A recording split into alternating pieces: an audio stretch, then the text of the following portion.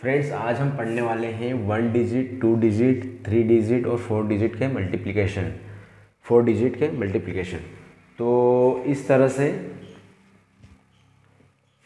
हम सीखेंगे कि मल्टीप्लिकेशन सबसे फास्ट कैसे किया जा सकता है। वो भी आसान ट्रिक से तो देखते हैं। तो जैसे फ़र्स्ट डिजिट का देखते हैं। तो इसमें हम एक एग्ज़ाम्पल ले लेते हैं टू इंटू टू ये तो सिंपल है। तो इसमें क्या होगा? इस तरह का पैटर्न यूज़ होगा। दो दूना चार। सिंपल है ये तो। दो दूना चार, ठीक है। लेकिन यदि दो डिजिट लेते हैं, जैसे वन और फाइव लेते हैं। कुछ भी ले लो। वन फाइव यहाँ पे फोर ले लो। इस तरह का जो क्वेश्चन रहता है, उसमें क्या करते हैं? दो डिजिट के। उसमें हम पहले इस तरह का पैटर्न यूज़ करते हैं, फिर क्रॉस करते हैं इधर,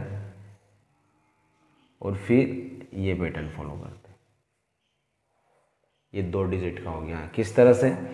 पहले ये पैटर्न मतलब चार पंजे बीस, चार पंजे बीस तो क्या हो जाएगा? ज़ीरो।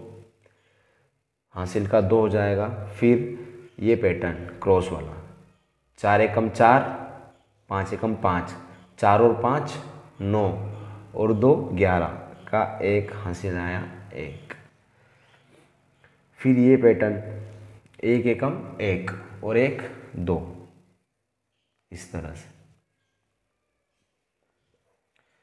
मतलब इसमें इस तरह का पैटर्न यूज़ करेंगे, इसमें पहले ये पैटर्न यूज़ करा, फिर क्रॉस फिर इस तरह से। ठीक है? थ्री डिजिट इसमें जैसे मान लो कोई संख्या है वन टू थ्री इधर भी सेम ले लेते हैं। इनका गुणा करेंगे। इसमें पहले ये पैटर्न फॉलो होगा। मतलब पहले इस तरह का पैटर्न फॉलो होगा, इस तरह का, फिर क्रॉस होगा।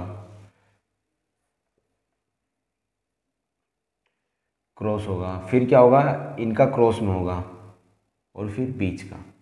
मतलब इस तरह से। फिर वापस से दो का, दो संख्या का, दो डिजिट का और फिर सिंगल डिजिट का, इस तरह से। करके देखते हैं। पहले ये वाला, तीन तिया, नौ। फिर दो डिजिट का तो तीन दूना छः, तीन दूना छः छः और छः, बारह। की दो, हासिल आया एक।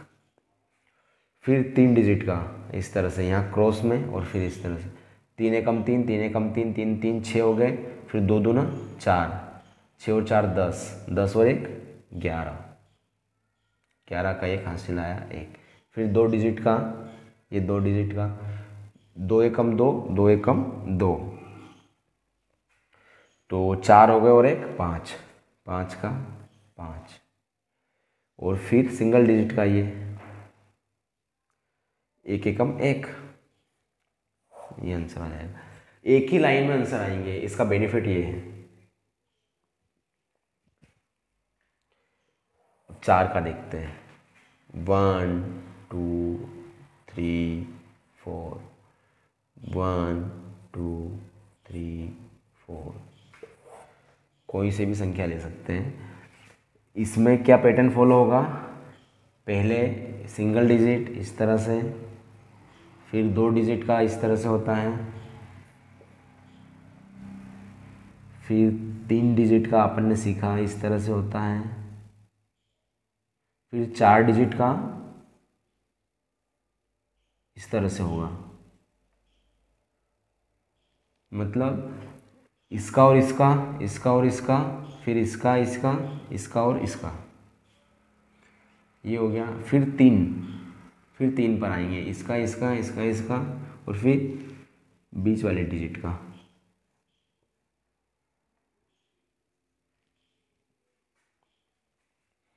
फिर दो डिजिट का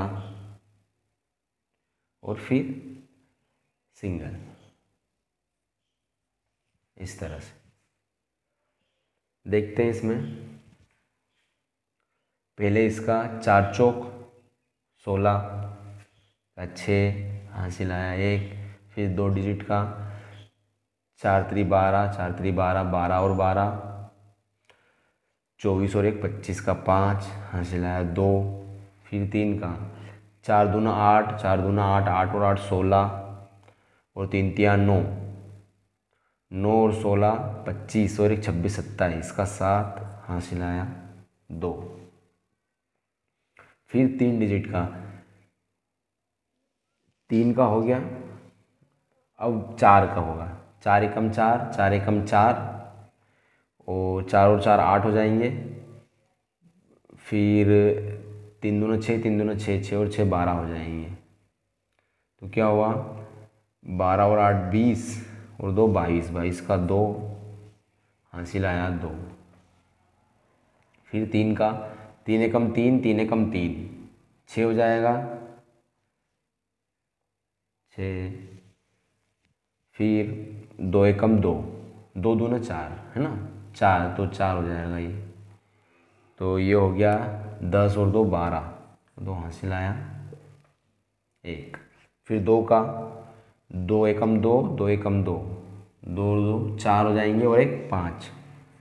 और फिर सिंगल। एक एकम एक। इस तरह से। इस तरह से हम one, two, three, four digit के मल्टीप्लिकेशन आसानी से कर सकते हैं। वो भी सिंगल लाइन में और बड़ी आसानी से। तो ये सबसे फास्ट तरीका है मल्टीप्लिकेशन करने का। Thank you